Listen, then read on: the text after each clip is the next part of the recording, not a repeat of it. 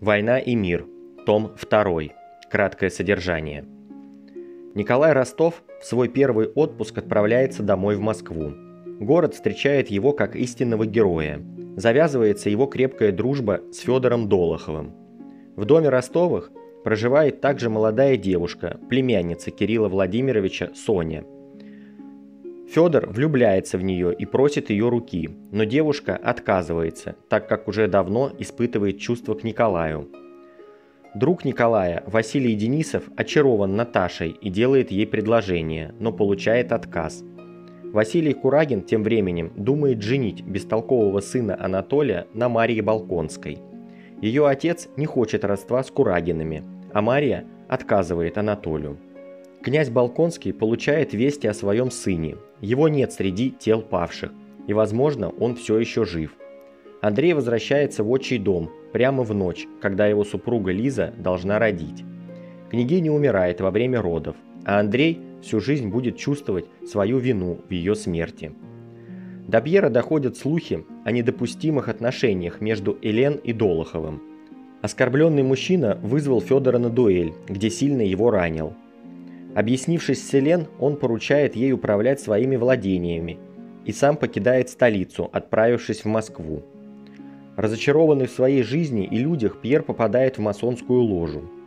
У Безухова будто открылись глаза, и преисполненный благими намерениями и мыслями о добре, он едет в свои имения, планируя провести ряд реформ.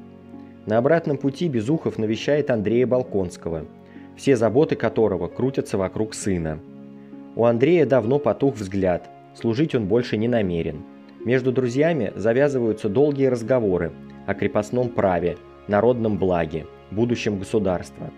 Андрея эти разговоры оживили, и он освободил 300 душ от крепостной зависимости и организовал обучение грамоте крестьянских детей. Офицеры, в том числе и Ростов, недовольны перемирием России с Наполеоном. Андрей едет в имение Ростовых по своим делам – где очаровывается Наташей. После он отправляется в Петербург, где знакомится с реформатором Спиранским. Спиранский пленил князя своими речами и идеями. Безухов тоже возвращается в столицу, разочаровавшись в масонах. Ростов приезжает в столицу, желая поступить на службу, так как у семьи возникли финансовые трудности. Берг делает предложение Вере Ростовой.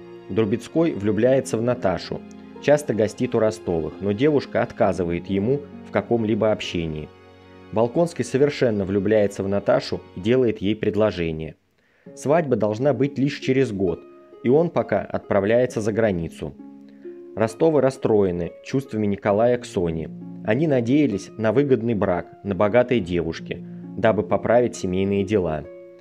Наташа знакомится с Анатолием, который хочет тайно венчаться на ней – хотя бы он уже и был женат. Андрей узнает о романе своей невесты с Анатолием и возвращает все письма невесте. Если вам понравилось видео, то ставьте лайк и подписывайтесь на канал. А еще не забудьте рассказать о канале друзьям и поделиться с ними видео.